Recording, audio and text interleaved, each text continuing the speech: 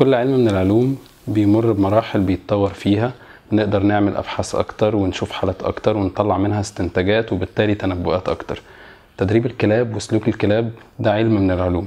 زمان كانت الناس بتدرب بمفهوم للتدريب إن الكلب لازم تكون أنت المسيطر عليه وأنت بتتعامل معاه بنشوفية اخترعنا أدوات زي الخناقات والخناقات الشوك.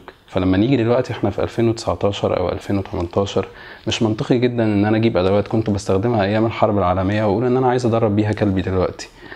طلع مفهوم جديد للتدريب وطلع مفهوم جديد لل... للسلوك. أنا مش محتاج إن أنا أكلم الكلب بحزم وبشدة طول الوقت علشان الكلب يسمع كلامي. ما تجيش تقيس على كلب بينزل معركة زي كلاب الجيش أو كلاب الشرطة. ده كلب بيتعرض طول اليوم لصوت ضرب رصاص وقذائف مدافع ودبابات ومش عارف إيه. فأنت لو كلمت الكلب بصوت واطي وقلت له sit الكلب مش هينتبه لك أساسا. فطبيعي إن أنت لما تيجي تكلمه وتقول له أي order أو أي command لازم تروح قايل له sit قايل له come علشان الكلب ينفع يسمعك.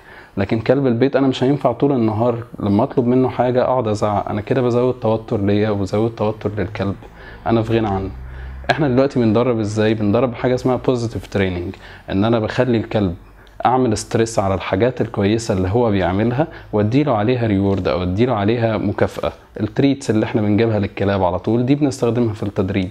كل ما يعمل حاجة كويسة بديله treat وبالتالي لما باجي عايز أدرب الكلب على أي أمر بوصله له بال treats برضو يعني أول قاعدة عندك في التدريب عكس ال old school بقى اللي الناس كانت بتعملها زمان أول قاعدة عندك إنك ما بتلمسش الكلب. أنت بتعمل positioning للكلب أو تحرك وضع جسم الكلب في الوضع اللي أنت عايزه عن طريق ال treat. هو بي بيشوف الطريقة اللي جسمه يكون فيها ينفع ياخد منك التريت دي وأنت بتبتدي تأكد على ده.